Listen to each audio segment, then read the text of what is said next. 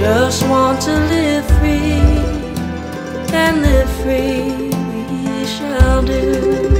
So when the world is just too cruel and seems to